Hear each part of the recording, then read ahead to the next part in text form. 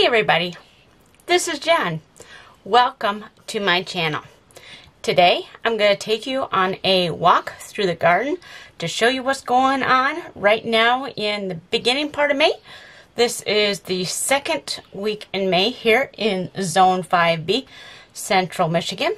And so I'm just going to give you a walkthrough of what's going on in my garden and what more needs to happen out there. So let's go for a walk right here on Garden Jen's Journey.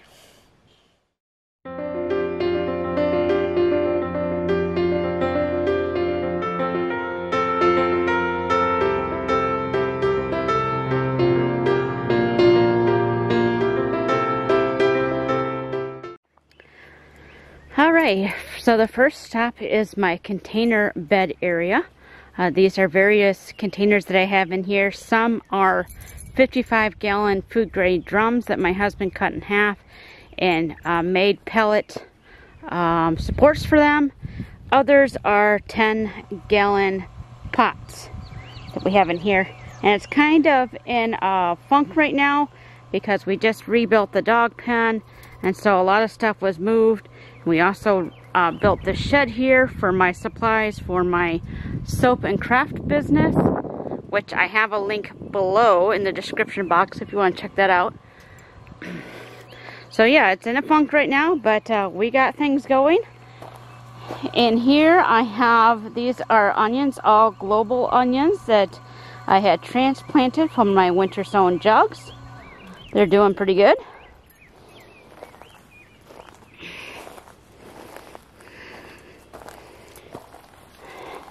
And these beds, it's kind of hard to see because of the color of the soil. But these are all Spanish onions here. In here and underneath this frost row covering are my greens. I have various mustards, kale, and spinach in these beds here. Now I'm going to take you over to the main garden almost forgot to show you my pot of chamomile. All this chamomile was transplanted from right here where I used to have this container. This container was always full of chamomile every year, which really easily self-seeds. So right here when my husband built the shed was a whole bunch of brand new chamomile sprouts this year. So I transplanted them into this pot. So we're now in the main garden looking towards my rose bed area and some things changed here.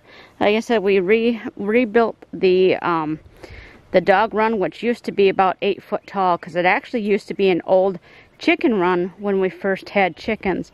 So that fence got torn down and a shorter fence was put in its place.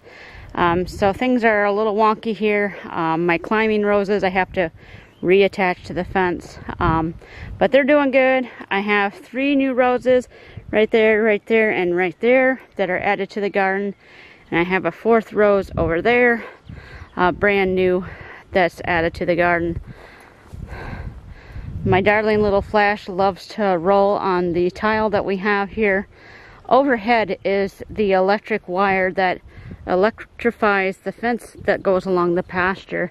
So we have to have um, a walkway for the landlord to be able to check that pole to make sure everything's hooked up correctly. So along the area I do have irises that are really starting to grow tall. There's no uh, bulbs on them yet as far as flower heads, but they're getting there. And you can see how huge the uh, rhubarb is. See if I can zoom you in here. There's actually a flower head starting to form on that. I'm going to have to break that off. And then my daffodils are done for the season, so it's time to start thinning them out. This bed here is my medicinal herb garden. 95% of these, well, we'll say 90. 90% of these are perennials. They come back year after year. And then I do have some annuals that I put in here throughout uh, just to uh, fill it up and um, it works very, very well. It's colorful. These herbs have a lot of good medicinal qualities. And when they bloom, the all the pollinators really love them.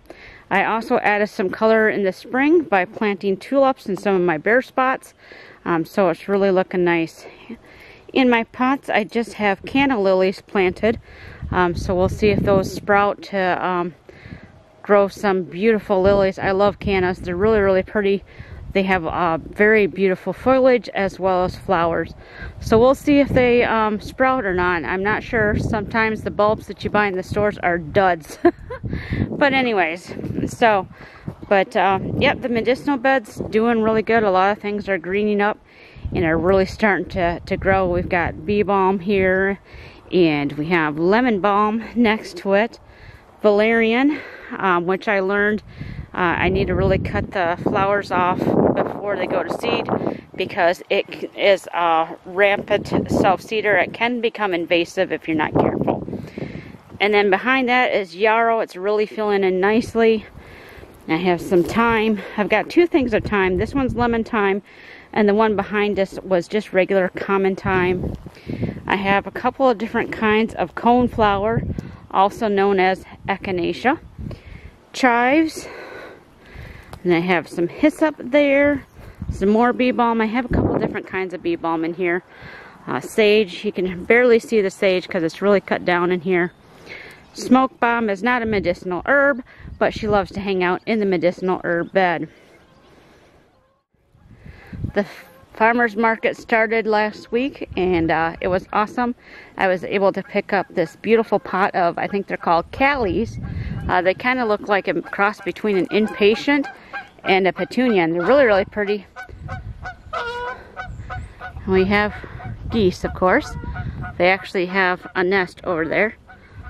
But anyways um, I thought that'd be really nice to bring in uh, the pollinators as, as, well as the um, tulips that are behind me.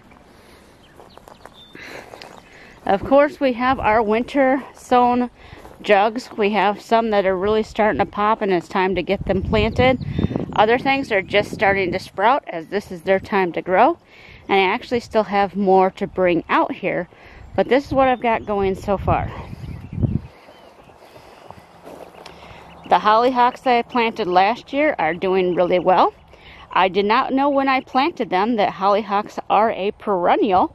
So that's kind of cool, but uh, unexpected because I wasn't planning on having this as a flower bed all the time. I was going to rotate my flowers but it's all good. Um, it'll be a nice flower bed again this year for my pollinators.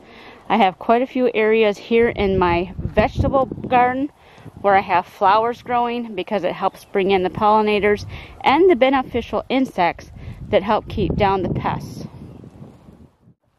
My garlic is getting really, really tall. I have two and a half beds of those. I have on this side, that side there, and right there.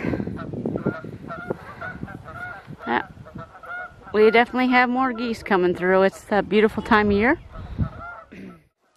I found these two cute little things at a family dollar store and I couldn't resist. Um, the price was very reasonable for some cute little additions to the garden.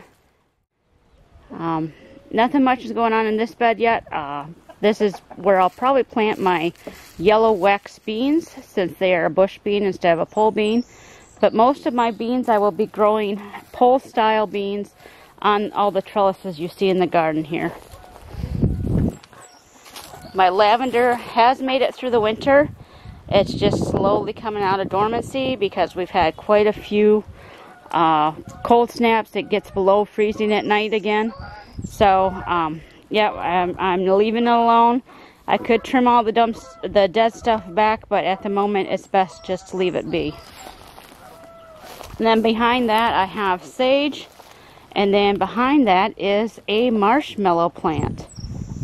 And then behind that, my chickens and my ducks. This bed here is a work in progress. Um, I used to have a zigzag pellet fence. If you watch some of my older gardening video videos, you would you will see that fence. It used to zigzag. It was really cool looking, but not very practical. It had a lot of wasted space. And because I deal with a very, very invasive plant here called Deadly Nightshade. I can't remember which variety I have. I used to know. but you can see all the nightshade that's grown up here. I need to be able to get to that back part of the fence, which is actually the back side of my uh, segregation coop, and be able to pull all that nightshade down. And I couldn't with uh, the fence that used to be there. So I got to pull all that down and clean this bed up um, because with the pellet fence I couldn't get the grass and everything else that was there. So this bed's going to take a while to get cleaned up, but we're getting there. I'm so excited to finally get this back in working order. It's nice that when a garden area becomes overgrown or something, that uh, you can finally get a hold of it and, and start bringing it back and making it a usable space again. So I'm very excited about that. This is my greenhouse and my makeshift potting shed. Uh, we do a lot of reduce, reuse, and recycling around here. Um, so the potting shed is basically made out of pallets and some recycled tarps. And uh, unfortunately, uh, we get really bad westerly winds here because we are in the midst of a bunch of open fields. And uh, my potting shed's been literally torn apart. I'll take you inside and I'll show you what I mean. So this is the inside of my potting shed right through the door you can see that you can see right through it because these tarps have literally been ripped or blown away and my roof doesn't exist anymore either. So my husband has to rebuild this potting shed for me and he'll do that in time. So um, if you see a new potting shed in uh, future videos, now you know why we had to get a new one. So that is the garden update for the month of May here. I'm hoping towards the end of the month that there's going to be a lot more growing that's going on. But if not, that's okay too. Uh, we usually have frost in this area up until June and sometimes even into the first week of June because our weather has been going really up and down and uh, it's just crazy. So I will make sure to keep you guys updated on what's growing in the garden. If you found this video exciting and encouraging to maybe get out there and work on your garden, make sure to give it a thumbs up. Share it with your friends. If you would like to stay updated with what's going on out here in the garden, as well as other tips, tricks, and chicken updates, make sure you hit the subscribe button below. I'd love to have you along on the journey. And as always, I hope that wherever you are, you are wonderfully blessed. So until next time, everybody, bye-bye.